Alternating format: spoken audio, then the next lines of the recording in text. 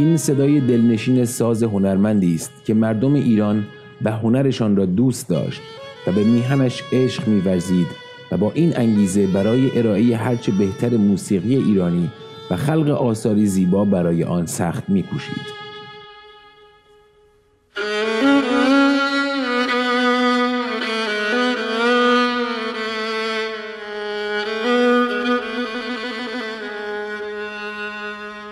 حبیب در نوجوانی ویولون برادرش را می نواخت.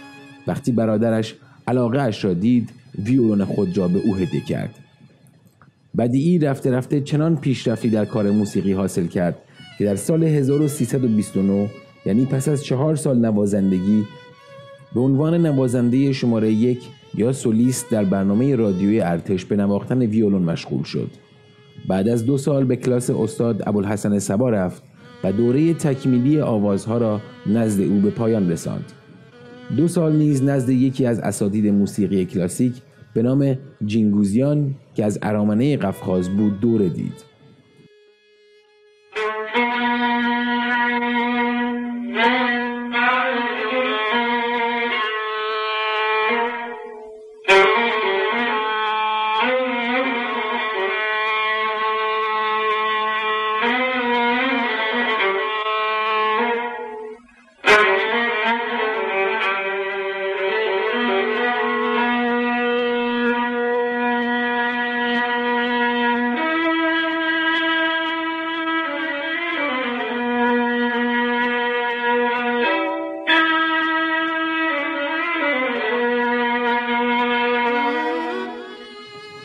حدود 150 آهنگ ساخت که خودش میان آنها کعبه دلها فریاد از این دل افسانه عشق دل بیگناه الهی بمونی افسانه زندگی جاودانه رفته بودم افسانه کمتر شعله سرکش در آتشم مهربانوشو سنگ صبور و زندگی من را بیشتر از همه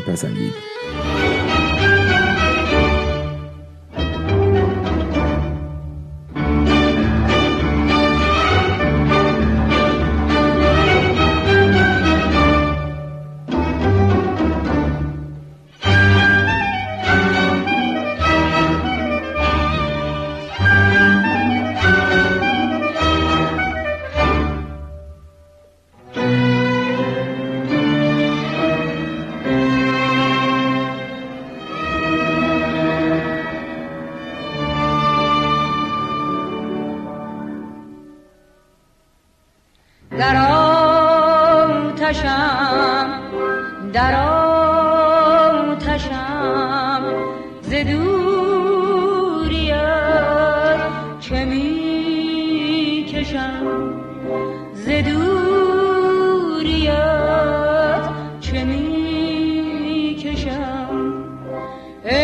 خدای من ناله های من از چه اثر نکنم؟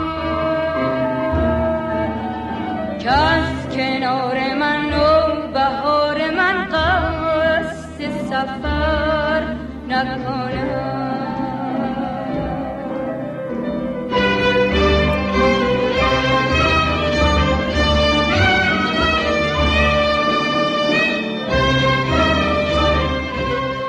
او جهت شناساندن موسیقی سنتی به اصیل ایران بارها به کشورهای افغانستان، آلمان، آمریکا، بلژیک و انگلستان سفر کرد. حبیب الله بدیعی در 29 مهر 1371 در سن 59 سالگی به دلیل بیماری قلبی در تهران درگذشت. او با آثار زیبایش در دل دوستداران موسیقی زنده است.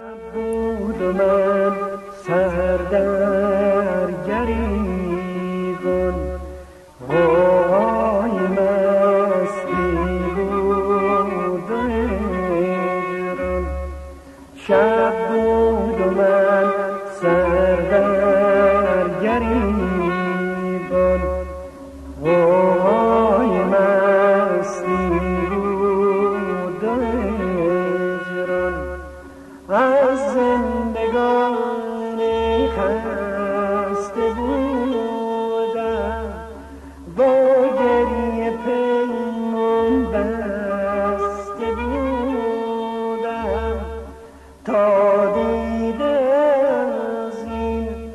مستی گشودم در کوی تو بنشسته بودم واگری گریه